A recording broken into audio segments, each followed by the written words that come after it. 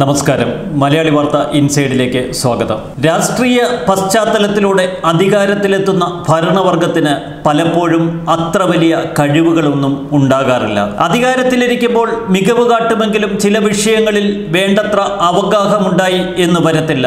അതുകൊണ്ട് തന്നെയാണ് അധികാര കേന്ദ്രീകൃതമായി ചില സംവിധാനങ്ങൾ നിലനിൽക്കുന്നതും. ഒരു സർക്കാർ എങ്ങനെ ഭരിക്കണം വികസന പ്രവർത്തനങ്ങൾക്കും മറ്റുമായി ഓരോ വർഷം എത്ര രൂപ നീക്കിവെക്കണം അവയുടെ ഘടനയെന്ത് ഇക്കാര്യങ്ങളൊക്കെ സംസ്ഥാന സർക്കാരിനും ദേശീയ സർക്കാരിനും ഉപദേശം നൽകാൻ പ്ലാനിംഗ് ബോർഡ് നിലവിലുണ്ട്.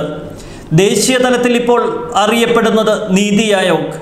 കേരളത്തിനുമുണ്ട് ഒരു പ്ലാനിംഗ് ബോർഡ് ഏതൊക്കെ പ്രോജക്റ്റുകളാണ് സംസ്ഥാന സർക്കാർ നടപ്പിലാക്കേണ്ടതെന്നും അവയ്ക്ക് എത്ര രൂപ മാറ്റിവെക്കണം എന്നുമൊക്കെ കൃത്യമായി പ്ലാനിംഗ് ബോർഡ് പറയാറുണ്ട്. അതിനവർക്കൊരു പ്ലാൻ ഡോക്യുമെന്റ് ഉണ്ട്. ഓരോ സർക്കാരുകളും ഈ പ്ലാൻ ഡോക്യുമെന്റിന്റെ അടിസ്ഥാനത്തിൽ തന്നെയാണ് വികസന പ്രവർത്തനങ്ങളും മറ്റ് ഭരണ പ്രവർത്തനങ്ങളും ഒക്കെ ഏകോപിപ്പിക്കുന്നത്. സർക്കാരിന്റെ കീഴിൽ ബ്യൂറോക്രാറ്റിന്റെ വലിയൊരു നിരയുണ്ട്.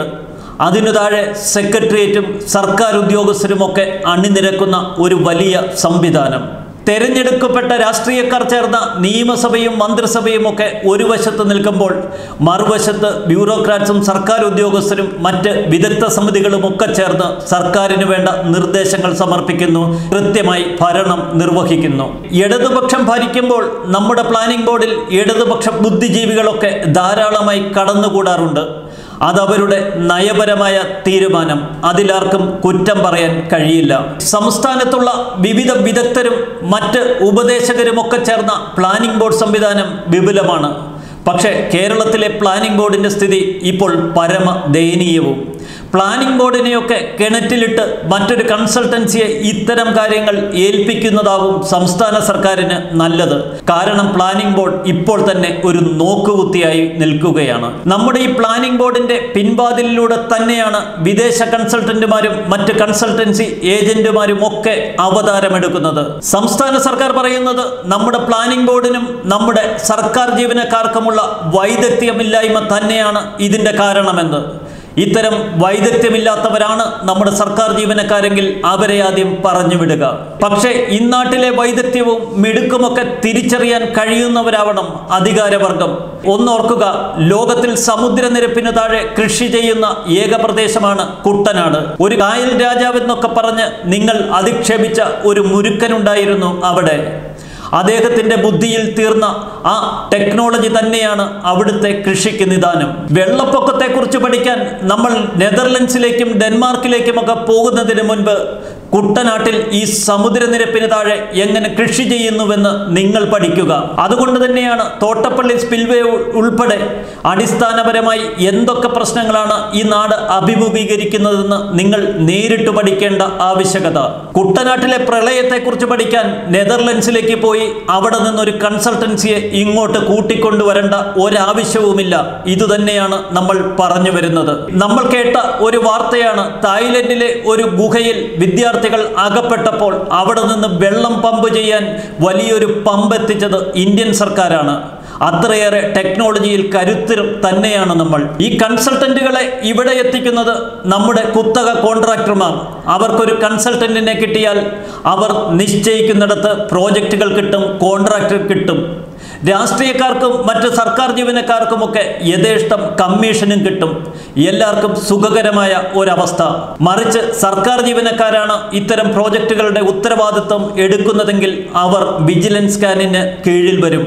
അത്തരം ഗുലുമാലുകളൊന്നുമില്ലാതെ സ്വച്ഛമായി കമ്മീഷൻ അടിക്കാം. ഒരു തമാശ പറഞ്ഞു കേൾക്കാറുണ്ട്. ഇടുക്കി ഡാം വന്നത് തന്നെ ഒരു കനേഡിയൻ കമ്പനി ജനറേറ്റർ വിൽക്കാൻ വന്നപ്പോഴാണെന്ന്. അതിൽ അതിശയോക്തി ഉണ്ടെങ്കിലും ചില വസ്തുതകൾ കൂടിയുണ്ട് എന്ന് നമ്മൾ മനസ്സിലാക്കുക. ഇപ്പോൾ വിവാദത്തിലായിരിക്കുന്ന ഇ ബസ് കൺസൾട്ടൻസി ഇടപാടിലും ചില വസ്തുതകൾ നമ്മൾ മനസ്സിലാക്കണം.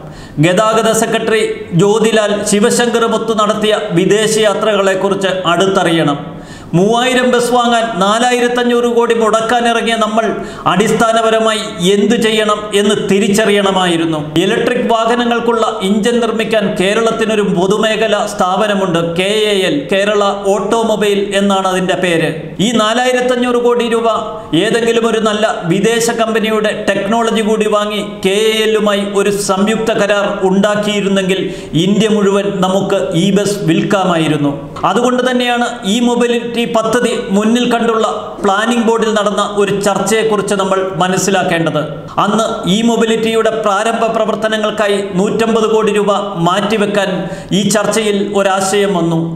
അപ്പോൾ ആ ചർച്ചയിൽ പങ്കെടുത്ത വിദഗ്ധനായ ഒരാൾ ശക്തമായി പറഞ്ഞത് ഈ നൂറ്റൻപത് കോടി രൂപ മുടക്കി നിങ്ങൾ കെ എയിൽ നിന്ന് പരമാവധി ഡീസൽ ഓട്ടോറിക്ഷകളിലെ എഞ്ചിൻ മാറ്റി അവിടെ ഇലക്ട്രിക് എഞ്ചിൻ വാങ്ങിക്കൊടുക്ക് എന്നാണ്. കേരളത്തിലെ പൊള്യൂഷൻ പരിഹരിക്കാൻ ഏറ്റവും നല്ല മാർഗമാണിത്. ഈ ബസ് പദ്ധതിയുമായി മുൻപോട്ട് പോകുമ്പോൾ അത്തരമൊരു പ്രോജക്റ്റിന് വേണ്ടി ഇവിടെ കൺസൾട്ടന്റുകളെ കൊണ്ടുവരുമ്പോൾ ഓർമ്മിക്കുക പത്ത് ഈ ബസ് ഇപ്പോഴും നമ്മുടെ ഷെഡിൽ കിടപ്പുണ്ട്. അവ തുരുമ്പ് പിടിച്ച് പോയിക്കൊണ്ടിരിക്കുന്നു. ഈ ബസ് പദ്ധതി അന്ന് നഷ്ടത്തിലാണ് എന്ന് തന്നെയാണ് അന്നത്തെ ട്രാൻസ്പോർട്ട് എം പ്രഖ്യാപിച്ചതും. ഏറെ തമാശയുണ്ടാവുന്ന ഒരു വാർത്തയാണ് ശബരിമല വിമാനത്താവളത്തിന് ഏറ്റെടുത്ത സ്ഥലത്തെക്കുറിച്ച് പഠിക്കാൻ വലിയൊരു കൺസൾട്ടൻസിയെ ഏർപ്പാടാക്കിയ കഥ. ശബരിമലയിലെ വിമാനത്താവളത്തിന് ഏറ്റെടുത്ത ഈ സ്ഥലത്തിന്റെ ഡോക്യുമെന്റ് പഠിക്കാൻ വലിയ കൺസൾട്ടൻസി കമ്പനികളുടെയൊന്നും ഒരാവശ്യവുമില്ല. കേരളത്തിലെ മിടുക്കനായ ഒരു തഹസീൽദാർ മതി. അദ്ദേഹത്തിന്റെ അത്ര കഴിവ് ഒരു കൺസൾട്ടൻസിക്കും ഉണ്ടാവില്ല. ഉപദേശങ്ങൾ നൽകാനും വൈദഗ്ധ്യം നൽകാനും ഒക്കെ കേരളത്തിൽ തന്നെ ഒട്ടനവധി സ്ഥാപനങ്ങളുണ്ട്. സീഡിറ്റും ഗുലാത്തി ഇൻസ്റ്റിറ്റ്യൂട്ടും ഒക്കെ ചില ഉദാഹരണങ്ങൾ മാത്രം. ഈ സ്ഥാപനങ്ങളെ എത്ര ഫലപ്രദമായി ഉപയോഗിക്കാൻ നമ്മുടെ സർക്കാരുകൾക്കും ബ്യൂറോക്രാറ്റ്സിനും കഴിയുന്നുണ്ട് അതുതന്നെയാണ് ഏറ്റവും വലിയ പ്രശ്നവും. ശക്തമായ നല്ലൊരു പ്ലാനിംഗ് ബോർഡിന് കീഴിൽ കൃത്യമായ സർക്കാർ ജീവനക്കാരെ ഉപയോഗപ്പെടുത്തുകയാണെങ്കിൽ ഇത്തരം കൺസൾട്ടൻസി ഇടപാടുകളുടെയൊന്നും ഒരാവശ്യവുമില്ല. ഓരോ വകുപ്പുകളിലുമുണ്ട് മിടുക്കരായ വകുപ്പ് മേലാളന്മാർ. അവരെ സഹായിക്കാൻ ചില വിദഗ്ധരും ഉണ്ട്. കേരളത്തിലെ ഓരോ വകുപ്പിനും ഇത്തരം വിദഗ്ധ സമിതികൾ ഇപ്പോൾ തന്നെയുണ്ട് എന്നതറിയുക. പൊതുമരാമത്തും ഇറിഗേഷൻ ഡിപ്പാർട്ട്മെന്റും ഒക്കെ നോക്കി നടത്തുന്നത് മിടുമിടുക്കരായ ചീഫ് എഞ്ചിനീയർമാർ തന്നെയാണ്. അവരെ ഉപയോഗിക്കാൻ കഴിയണം. ഇനി ഇത്തരം വകുപ്പ് തലവന്മാർക്കും സർക്കാർ ഉദ്യോഗസ്ഥർക്കുമൊന്നും ഒരു വൈദഗ്ധ്യവുമില്ലെങ്കിൽ പിന്നെ എന്തിനാണ് ശമ്പളവും കൊടുത്ത് അവരെ എവിടെ പിടിച്ചിരുത്തിയിരിക്കുന്നത്? പറഞ്ഞു വിട്ടുകൂടെ എന്നിട്ട് പകരം കൺസൾട്ടൻസിയെ ഏൽപ്പിക്കുക. ഒന്നുകിൽ സർക്കാർ ഉദ്യോഗസ്ഥർ ജോലി ചെയ്യട്ടെ അല്ലെങ്കിൽ കൺസൾട്ടൻസി ജോലി ചെയ്യട്ടെ. ഇത് രണ്ടും കൂടി ചെയ്ത് ജനങ്ങളുടെ പണം കൊള്ളയടിക്കുന്ന ഈ ഇടപാട് വേണ്ട. കിഫ്ബി ഇന്ന് നടപ്പിലാക്കുന്ന എഴുപത് ശതമാനം പ്രോജക്റ്റുകൾ പൊതുമരാമത്ത് വകുപ്പിന്റെത് തന്നെയാണ്. ഒന്നോർക്കുക പൊതുമരാമത്ത് വകുപ്പിൽ ഇഷ്ടം പോലെ സർക്കാർ ജീവനക്കാർ ശമ്പളമൊക്കെ മേടിച്ച് പുട്ടടിച്ച് ഇവിടെ ജീവിക്കുന്നുണ്ട്. അവരെ മാറ്റി നിർത്തി കിഫ്ബി പ്രത്യേകം അപ്പോയിന്റ് ചെയ്ത ഒരു കൂട്ടം ജോലിക്കാർ വേറെയുമുണ്ട്. അവരാണ് ഈ പ്രോജക്റ്റുകളൊക്കെ നോക്കുന്നത്. പിന്നെ എന്തിനാണ് ഈ പൊതുമരാമത്ത് ജോലിക്കാരും ഉദ്യോഗസ്ഥരുമൊക്കെ? കൺസൾട്ടൻസി ഇടപാടുകൾ എന്ന് പറഞ്ഞാൽ കൃത്യമായ സ്വകാര്യവൽക്കരണമാണ്. സി പി എം താത്വിക ആചാര്യന്മാരൊക്കെ പണ്ട് സ്വകാര്യവൽക്കരണത്തിന് എതിര് നിന്നിരുന്നുവെങ്കിൽ അവരുടെയൊക്കെ കണ്ണിൽ പൊടിയിടാനുള്ള ഒരു തന്ത്രമാണിത്. സ്വകാര്യവൽക്കരണത്തിനെതിരെയും ആഗോളവൽക്കരണത്തിനെതിരെയും വാദോരാതെ സംസാരിച്ചിരുന്ന ഡിവൈഫൈ നേതാക്കളൊക്കെ എവിടെ പോയി? കേരളത്തിലുമുണ്ടായിരുന്നല്ലോ ചില കമ്മ്യൂണിസ്റ്റ് ബുദ്ധിജീവികളൊക്കെ. അവർ എക്കാലത്തും പൊതുമേഖലയ്ക്കും സ്വകാര്യവൽക്കരണത്തിനെതിരെയുമായിരുന്നല്ലോ നിലപാടുകൾ. അവരൊക്കെ ഇപ്പോൾ മിണ്ടാണ്ടായിരിക്കുന്നു അല്ലെങ്കിൽ അവരുടെയൊക്കെ വായടപ്പിച്ചിരിക്കുന്നു. കഷ്ടം തന്നെ. K P M G Price Water Cooper House പോലുള്ള ആഗോള ഭീമൻ കമ്പനികൾ തന്നെയാണ് കേരളം ഇപ്പോൾ ഭരിക്കുന്നത് എന്നോർക്കുക ആഗോളവൽക്കരണത്തിനെതിരെ തെരുവുകളിൽ യുദ്ധം ചെയ്തിരുന്ന ഈ സി പി എം സഖാക്കളും ഡിവൈഎഫ്ഐക്കാരുമൊക്കെ ഇപ്പോൾ എന്തു പറയുന്നു? അതുകൊണ്ട് തന്നെയാണ് പുതുതലമുറ പറയുന്നത് കഷ്ടം തന്നെ മുതലാളി ഇത് കേരളത്തെ നശിപ്പിക്കലാണ് പണം കൊള്ളയടിക്കലാണ്. നികുതി ഇനത്തിൽ കിട്ടുന്ന തുകയത്രയും സർക്കാർ ജീവനക്കാർക്ക് ശമ്പളവും പലിശയും പെൻഷനുമായി നമ്മൾ കൊടുത്തു തീർക്കുന്നു. പലപ്പോഴും ഇത് കൊടുത്തു തീർക്കാൻ പറ്റാതെ പുറത്തുനിന്ന് കടം മേടിച്ചു കൂട്ടുന്നു. വികസനത്തിന് ഒരൊറ്റ കാശില്ല. കടം മേടിച്ച പണം കൊണ്ട് കൺസൾട്ടൻസിയെ വെച്ച് കുറേ പേപ്പർ കെട്ടുകൾ സെക്രട്ടേറിയറ്റിൽ നമ്മൾ കെട്ടിപ്പൊതിഞ്ഞു വെച്ചിട്ടുണ്ട്. ഒരൊറ്റ പ്രോജക്റ്റെങ്കിലും ഇന്നേ വരെ നടപ്പിലാക്കാനുള്ള ആർജവം ഈ സർക്കാർ കാട്ടിയോ? ഏതെങ്കിലും കൺസൾട്ടൻസികൾ കൃത്യമായി റിപ്പോർട്ട് തന്ന എന്തെങ്കിലും പ്രോജക്റ്റുകൾ ഇക്കഴിഞ്ഞ നാല് വർഷത്തിനിടയിൽ കേരളത്തിൽ നടപ്പിലാക്കിയോ നടന്നോ? ഒന്നും നടക്കില്ല. പദ്ധതി ചെലവിന്റെ ഇത്ര വിഹിതം കൺസൾട്ടൻസിക്ക് വേണ്ടി മാറ്റിവെക്കുന്ന ആ വലിയ തട്ടിപ്പ് അത് തന്നെ തുടർന്നുകൊണ്ടേയിരിക്കുന്നു. എത്ര പറഞ്ഞാലും ഒരുപക്ഷെ മുഖ്യമന്ത്രിക്ക് ഇനി ചെവി കേൾക്കുക കൂടിയില്ല.